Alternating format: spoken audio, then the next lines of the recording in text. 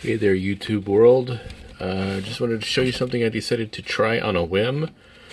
Uh, I have this 1 8 scale uh, 32 Ford convertible top, and I just wanted to experiment with something, so I decided to use this.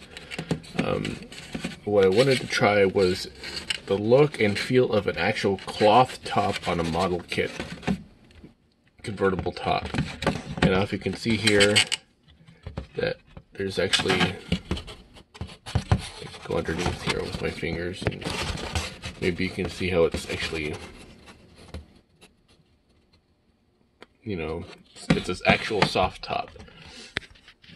Now what I did to achieve that is if you can tell right here it's kind of crude looking but I masked the perimeter with masking tape both sides and then drew a, a line with a pencil or a pen and I cut that out with my Dremel. As you can tell, I kind of, it's kind of crooked here.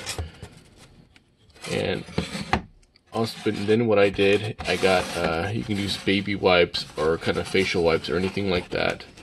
And let it sit out and dry. Just let the thing dry. And you get a 50-50 mixture of glue, like Elmer's glue or anything like that, and water and you mix it together. And what I did, I, I put the whole uh, wipe in the mixture and pulled it out and placed it over the uh, convertible top. I mean, I do plan on painting this. I, in fact, I'm gonna pause the video or the recording, I'm gonna going to put a coat of paint on this to see how well it looks or how it looks after it's after I've done painting it. And just just see how that looks and you know because well I haven't seen any transparent uh, convertible tops before. Is it what it transparent but it's pretty clear or pretty uh, thin. So I just wanted to uh, show this to you. Um, and uh, give me a few minutes I'll be right back and I'm just I'm gonna put a coat of paint on this and see how it looks Alright, I am back. I put a coat of paint on here, just used uh, regular flat black spray paint.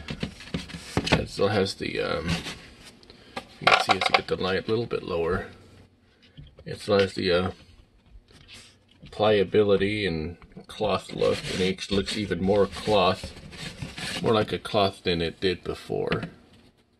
Um, I'm pretty sure this would work for uh, smaller scales, like uh, 25th and 24th scale, like most cars people build. Again, this is 1 8th scale. This is from the old uh, monogram 32 Ford uh, Roadster.